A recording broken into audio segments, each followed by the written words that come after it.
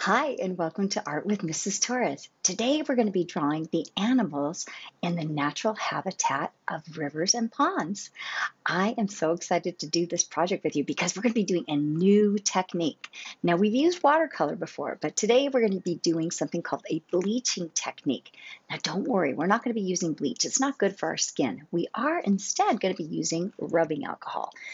Now, don't worry, if you don't have rubbing alcohol, I bet you probably have some of this somewhere in your house because in the year 2021, we all have hand sanitizer.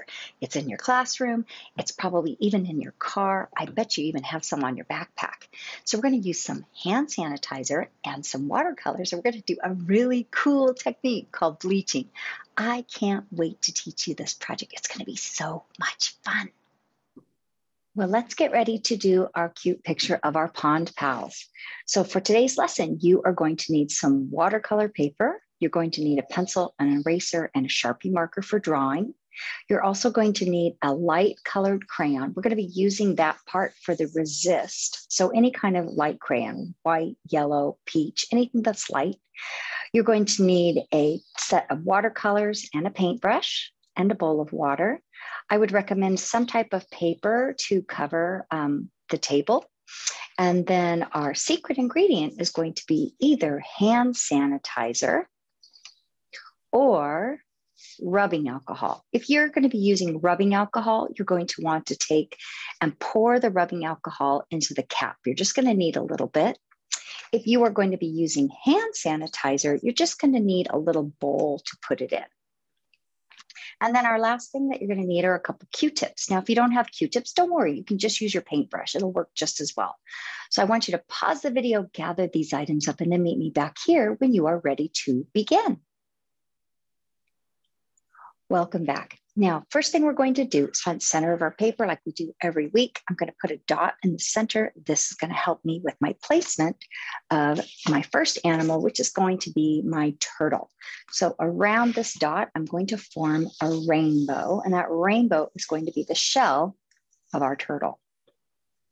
Now, once I've formed that rainbow, the underside of the shell is going to be slightly curved. So I'm just going to come across and kind of make a loose smile shape.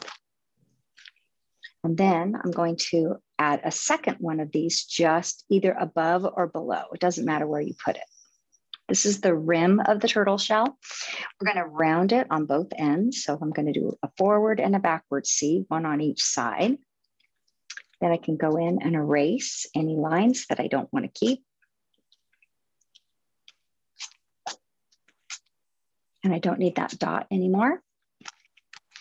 So once I've created the shell on the turtle, now I'm going to begin by forming his head. So his head is going to be looping up and around, looking up at the top where his little frog friend's going to be sitting. So I'm going to come over here and I'm going to start from the side here and I'm just going to add the letter C. This is going to be his head. You want to make it big.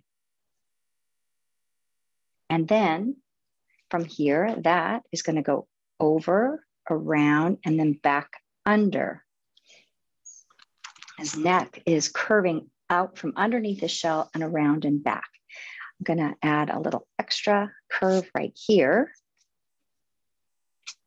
because his head is now, his neck is tucked over his shell. I'm gonna erase the shell out of his head. Now I'm going to form his eye. So I'm going to come right up here to kind of the center and form a rounded cheek.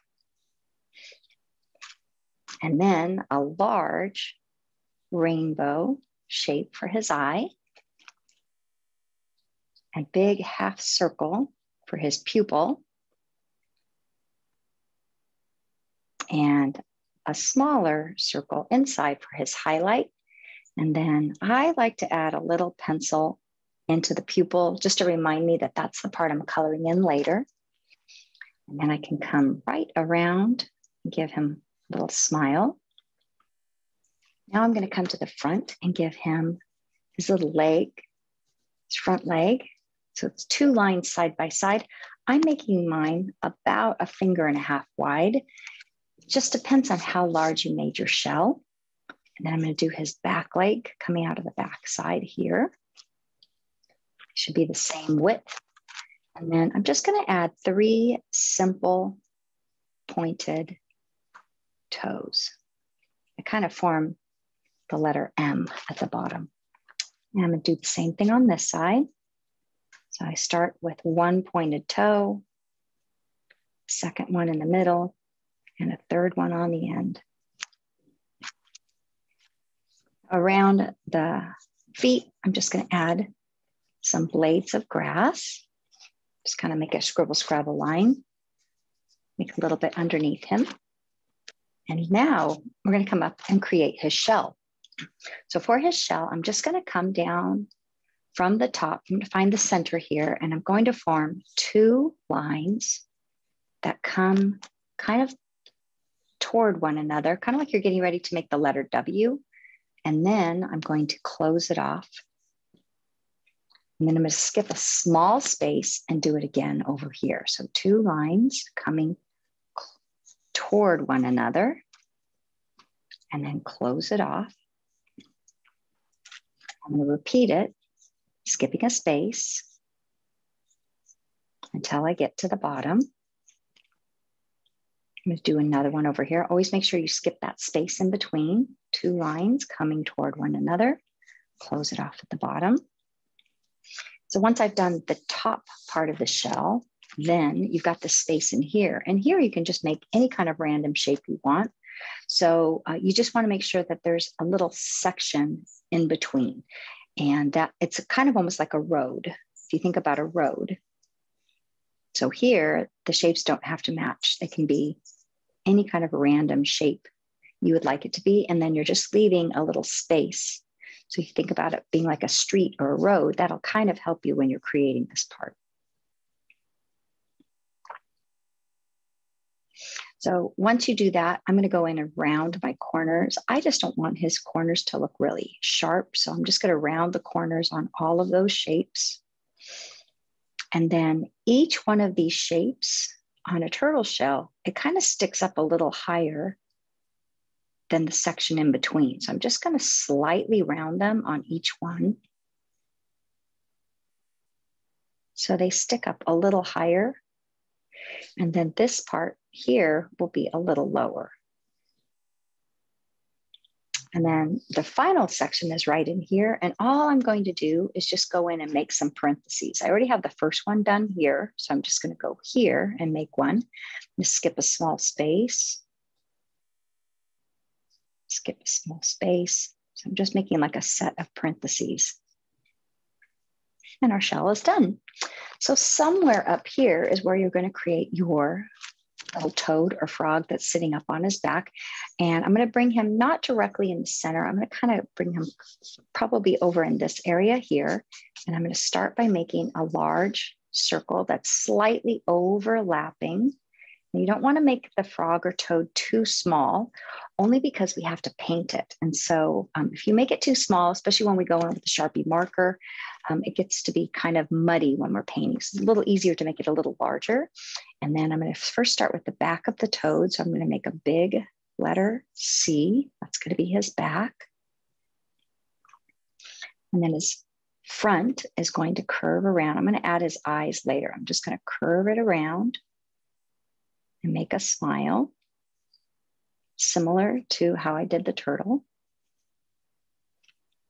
I give him a little bottom lip and a big chin. And then I'm going to give him his big back leg. So his back leg is going to be a backwards C. Uh, right here on the back, I'm going to give him his little back of his foot, his heel. And then I'm going to bring the foot out I'm going to bring it out here. We're going to want to do three very long toes. Now I'm going to erase this section here. Now you can use the end of your pencil since that's a small area, or you can grab your magic rub. I'm going to curve this up a little bit more. Then I'm going to do his front arm. So I'm going to come right over here.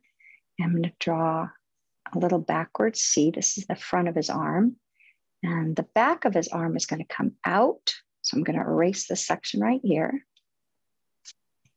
So I'm forming kind of like an L here, and we're going to do three long fingers. Now from here, we're going to come to the front. This is where we're going to create his eyes. So first going to give him a little bump for his nose. And I'm going to draw one large oval. I'm going to erase the head out of the oval. And I'm going to draw the second oval right behind it. So I can only see a part of the second eye. And I'm going to make a large pupil. I'm going to draw my highlight circle up at the top and lightly color in the pupils with my pencil. Now, depending upon what style uh, toad or frog you want to give, draw, you can also add some eyelids like this if you want him to look a little bit more sleepy, or you can keep his eyes wide open. It's really up to you. You could add eyelashes if you wanted to be a girl. And then the next part is going to be our dragonfly and the calla lilies or cattails. So I'm going to come over here and I'm just going to draw a curved line that kind of goes up and over. I'm going to match it. It's going to be wider at the base, and then it's going to slowly taper and get thinner. This is going to be where my dragonfly is going to be sitting, resting on this little blade of grass. So a dragonfly has a large head and remember, we're going to be drawing with a Sharpie marker. So this is where I always have to remind myself, look at how fat my Sharpie marker is. So if I draw this too small, it's going to be really hard to go in with my marker. Now, if you've got an extra fine point marker, you can do a little bit uh, smaller head. But for me, I'm going to make my head just a little larger so that I can get in with the tip of my pen. And then I'm going to draw two very exaggerated large eyes for my dragonfly.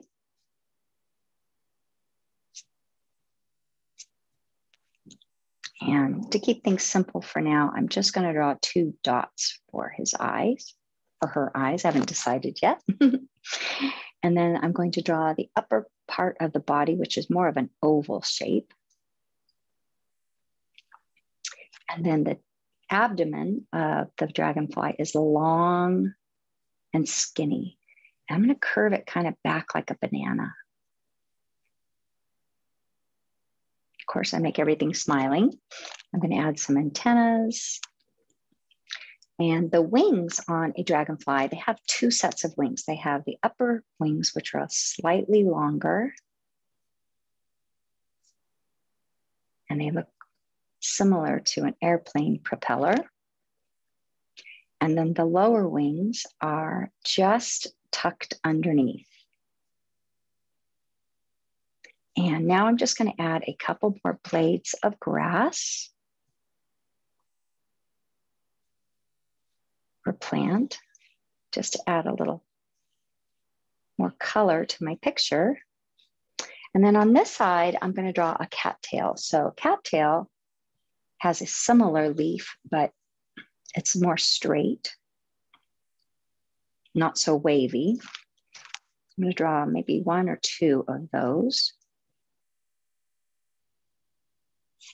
And they're pointed at the tip and wider at the base. And then the cattail has a long stalk that's skinny. And the shape of the cattail is similar to a hot dog. So I'm just gonna draw a hot dog shape up here. And then the end of the, of the stem pokes right out of the top like this. kind of looks like a corn dog. I'm gonna add a second one.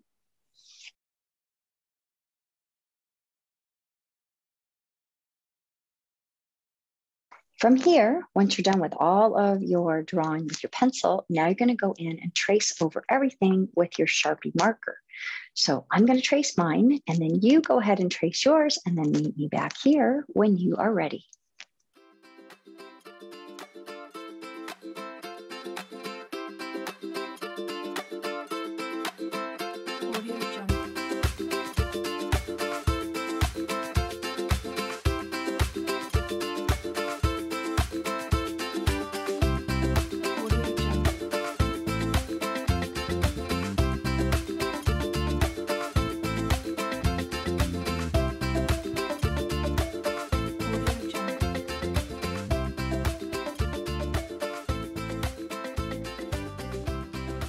Okay, when you're all done tracing all of your picture, then you're going to put your Sharpie marker away.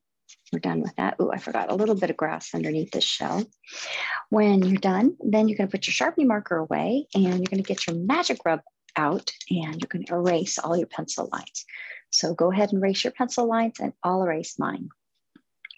Okay, I have erased all of my pencil lines and now I'm gonna go in with a light colored crayon. Now you can use white, yellow, peach, cream, a light tan, anything that you have to just draw a resist line in between these shells. So for uh, today, I'm gonna be using a peach color and the white would work really well as well, but my white's not gonna show up uh, on camera. So I'm going to use this color just so you can see it later when we paint over it. And I want to go in and put a nice waxing coating on that separation between each one of those spaces on the tortoise shell.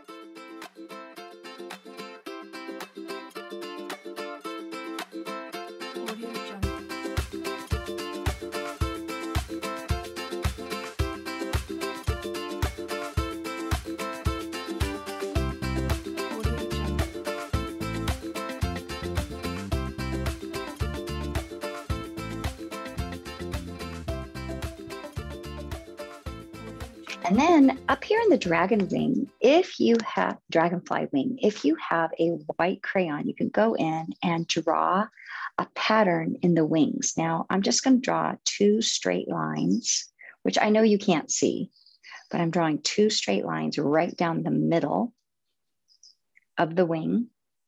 And then I'm just going to draw two or three lines going the opposite direction and basically making a checkerboard, which won't show up until I paint over it later.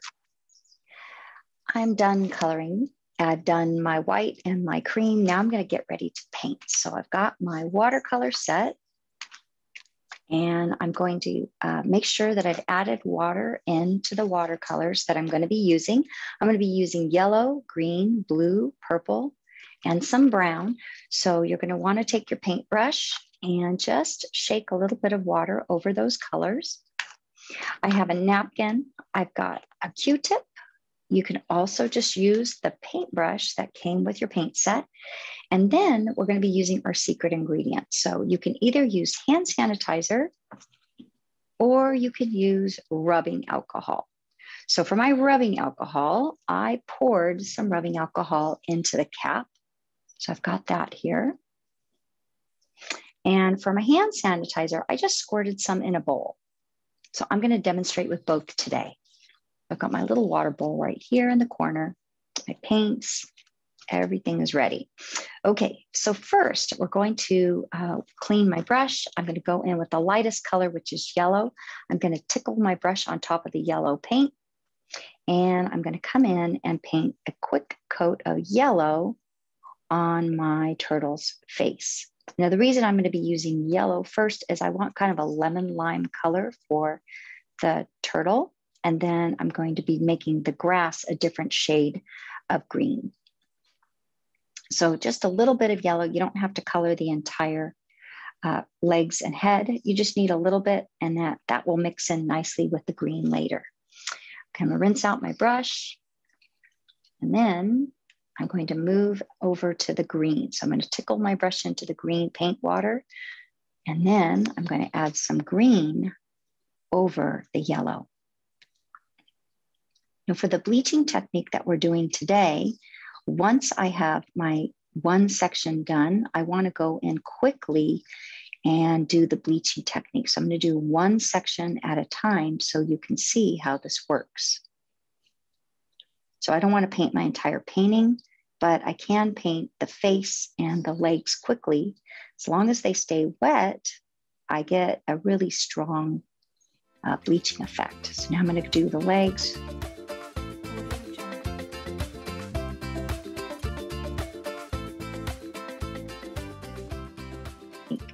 So I'm going to rinse out my brush.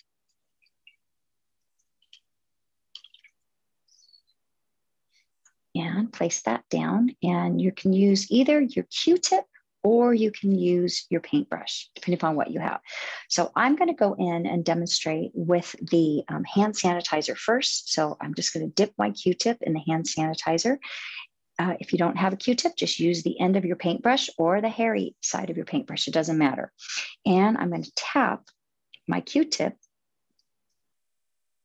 with the hand sanitizer on top of the paint. Isn't that neat? I'm gonna do the other foot.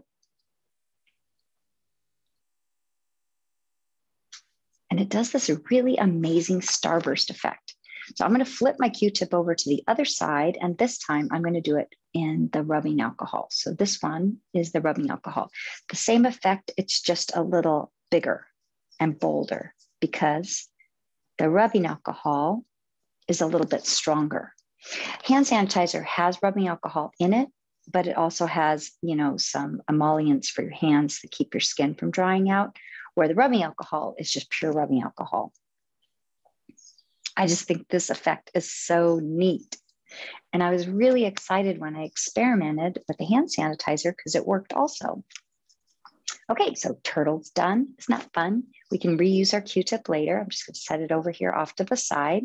And now I'm gonna work on my toad. So for my toad, I'm not gonna start with yellow first. I'm just gonna go straight in with green. And um, I'm working with dry paper instead of wet paper because that way I can control my line a little better.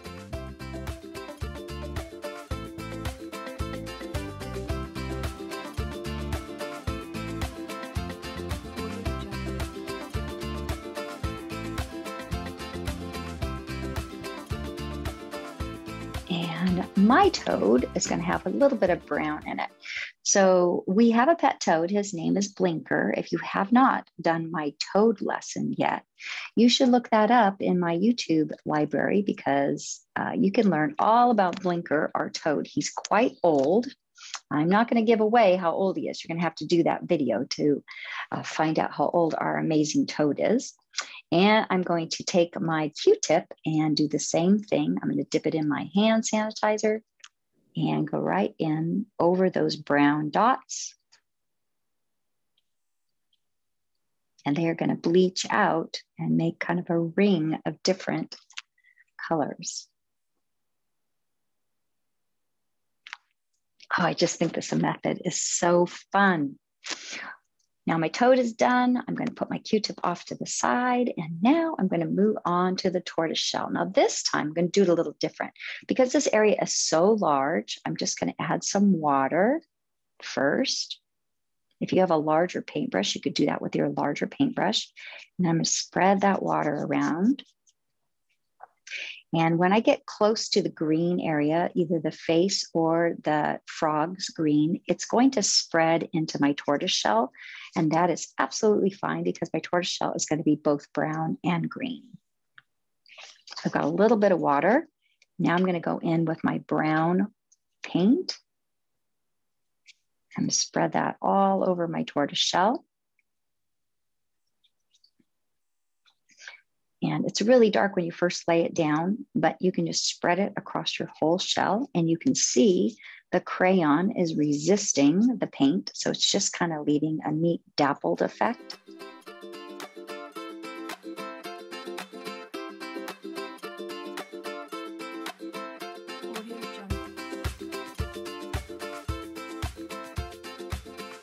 And then you want to do another color you don't want to just leave it brown. So you could go in with orange, you could go in with yellow, or you could go in with some green. So I'm going to rinse out my brush and pop in a little bit of green.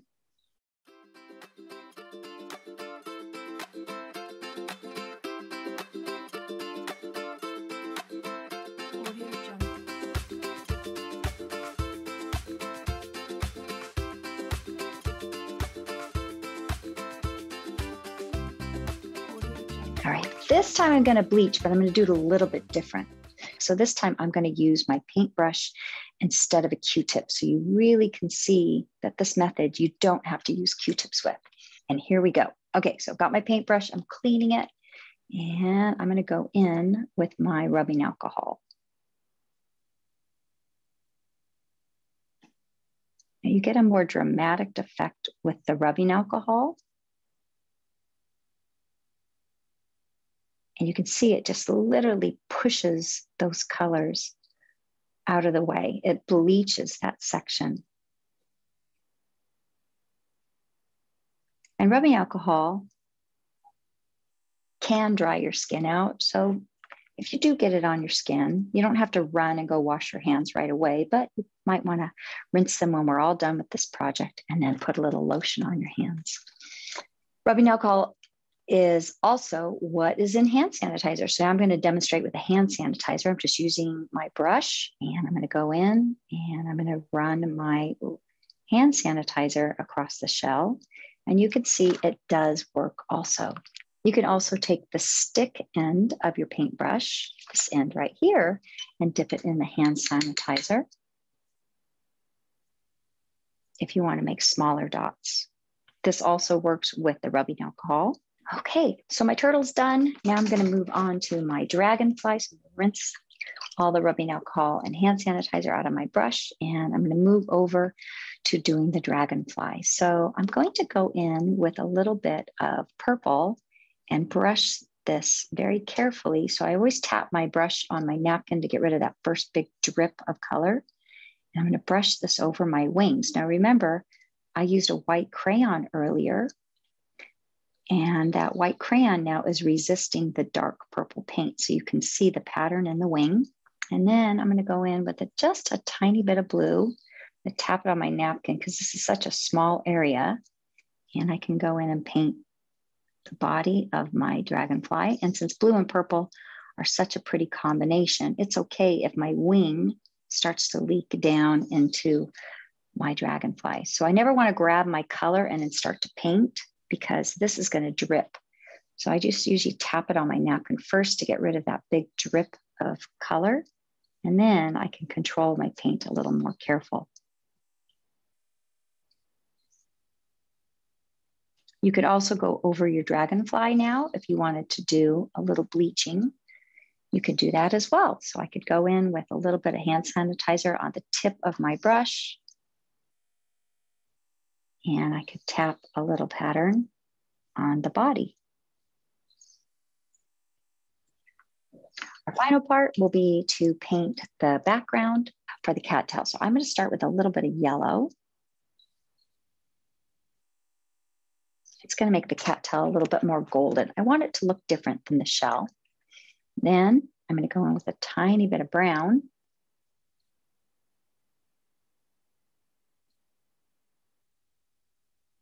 And I can manipulate those two by just using a wet brush. I'm gonna rinse out my brush, tap it on my napkin, and now I'm just go in and just tap that little section between the yellow and the brown.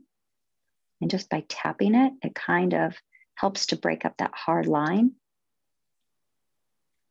I just think that looks really pretty.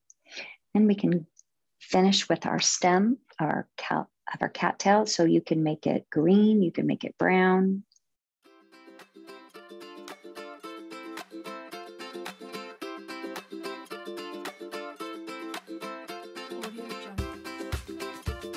So to do the grass down below, I'm going to add just a little bit of water. This is going to help my color spread faster. I'm not putting a huge amount, just enough to moisten the paper. And I want my grass to look different than my turtle, so I'm gonna begin with a little blue. So I'm gonna go in, add a little blue across the bottom.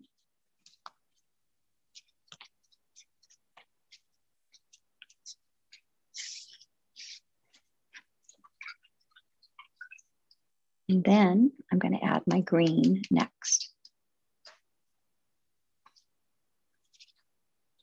So by adding a little bit of blue first, we're gonna get a really pretty turquoise. That way my grass is slightly different than the turtle. And it helps the turtle's legs to show up. I wanna keep my grass pretty simple too. Meaning I don't want to spend a lot of time putting a lot of detail because it's the background. It's not the most important part of my picture. My turtle is. My turtle, my toad, and my dragonfly. I hope you had fun doing this project with me today. We learned a couple different techniques. We worked with doing a resist with our crayon. We learned our bleaching technique and we used some hand sanitizer or rubbing alcohol. I hope you had fun. I would love to see your artwork. So if you could send me a picture to rtorres at lcusd.net, I would love it. If you send me a picture, I promise I will email you back. Have a great day.